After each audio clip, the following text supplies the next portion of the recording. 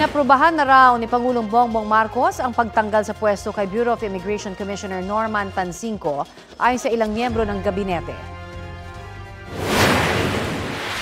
Yes, uh, the President uh, has approved the dismissal of the uh, current uh, BI uh, Commissioner. Yes, that is confirmed.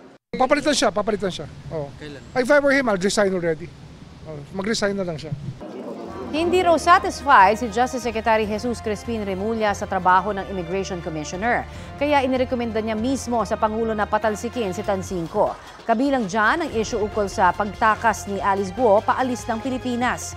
Sa Senate hearing kahapon, sinabi ni Tansinco na sa media reports lamang niya nalaman ang pagtanggal sa kanya at hindi pa raw siya formal na inaabisuhan. Ilang beses sinubukan ng GMA Integrated News na kuhana ng pahayag si Tansinco pagkatapos ng hearing pero hindi siya sumagot. Kapuso, para sa mga maiinit na balita, mag-subscribe sa GMA Integrated News sa YouTube. Sa mga kapuso naman abroad, subaybayan nyo kami sa GMA Pinoy TV at sa www.gmanews.tv.